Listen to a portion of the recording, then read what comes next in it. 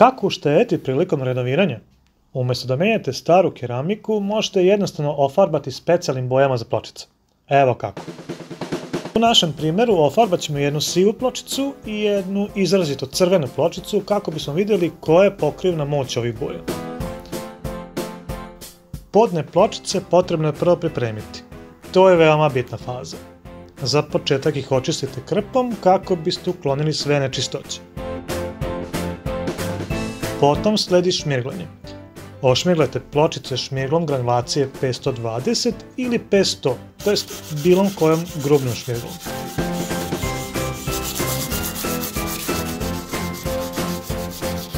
Vojite računa da cela površina bude ošmirglana, jer je to važan uslov da boja dobro veže.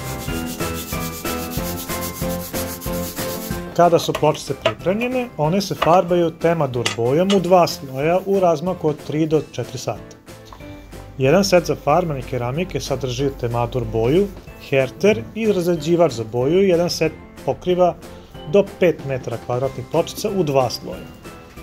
Boja se meša sa razređivačem i sa herterom u kantici, te se moher valjkom nanosi na pločicu ravnomerno.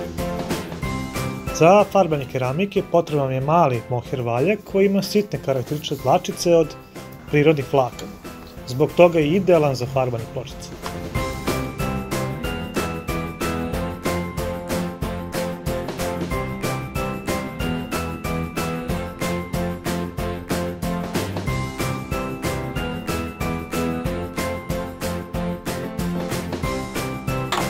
Pošto smo sivu pločicu ofarbali u belo, probat ćemo sada da crvenu pločicu pretvorimo u plavu, koristeći isti postupak.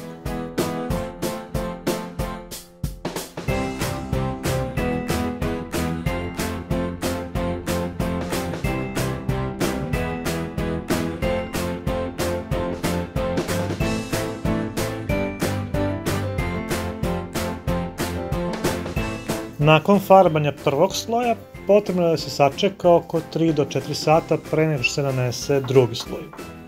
Ponovite postupak farbanja sa specijalizovanim bojama i bonher valjkom. Krajnji rezultat je zaista lepa, plava i bela pločica. Međutim, ako vam jednobojne pločice nisu dovoljno interesantne, možete pomoći šablona iscrtati geometrijske šare. Šablone možete pronaći u prodavnicama koje drže hobi materijale za slikanje, dekupaž i sl.